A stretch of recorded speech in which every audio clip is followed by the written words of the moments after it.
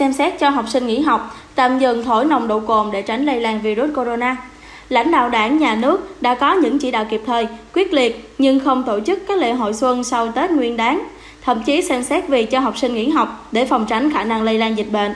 Chiều ngày 30 tháng 1, tại cuộc họp của chính phủ, Bộ trưởng Mai Tiến Dũng thông tin cả nước đã thành lập 24 đội phản ứng nhanh để chống dịch bệnh corona.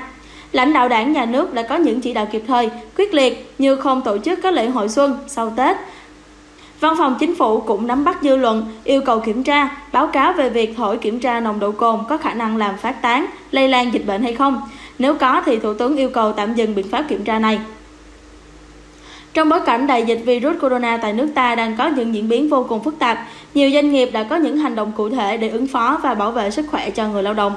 Trong ngày làm việc đầu năm mới, tại các lao động công ty City ở quận Đống Đa, Hà Nội đã nhận được email với nội dung khuyến cáo nhân viên về sự nguy hiểm và cách phòng chống dịch bệnh. Nội dung email chỉ rõ những việc cần làm ngay để giảm nguy cơ lây nhiễm cả trước và sau khi đến công ty, như là đeo khẩu trang, rửa tay thường xuyên, tránh các hoạt động đầu xuân tập trung đông người. Nội dung email cũng cung cấp địa chỉ các bệnh viện hàng đầu về dịch tễ và số điện thoại đường dây nóng phòng dịch của Bộ Y tế để người lao động liên hệ khi cần hỗ trợ.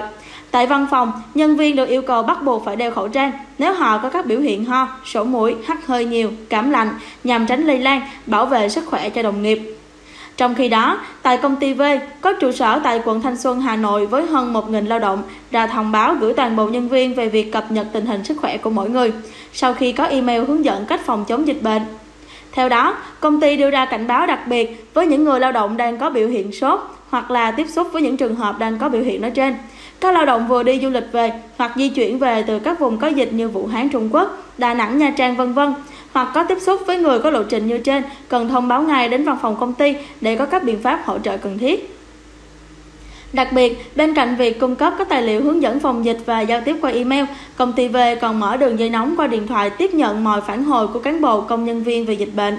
Cùng với những lo ngại về virus corona, bên cạnh việc phát miễn phí khẩu trang cho toàn bộ nhân viên, công ty T thậm chí còn tạm thời miễn chấm công bằng vân tay để đề phòng lây nhiễm.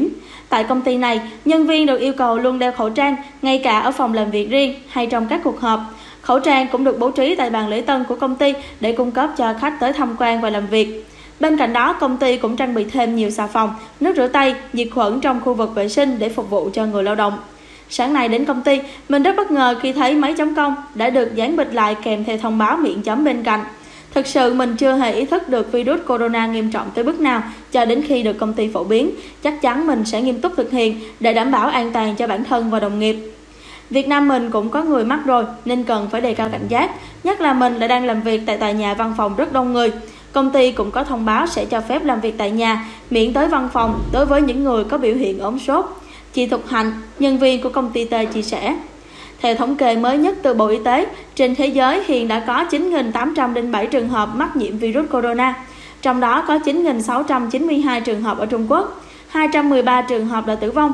Tại Việt Nam đã ghi nhận 5 trường hợp dương tính với virus này, trong đó bao gồm hai người Trung Quốc, trong đó một người đã khỏi bệnh và ba công dân Việt Nam đều trở về từ Vũ Hán Trung Quốc.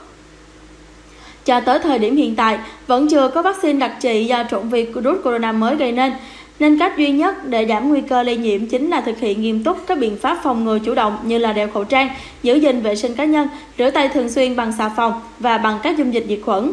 Đối với nhân viên các công ty, cần tuân thủ nghiêm túc các thông báo về dịch từ văn phòng. Khi có hoặc là có tiếp xúc với người có biểu hiện bị ốm sốt, thì cần thông báo ngay cho những người có trách nhiệm để nhanh chóng được hỗ trợ.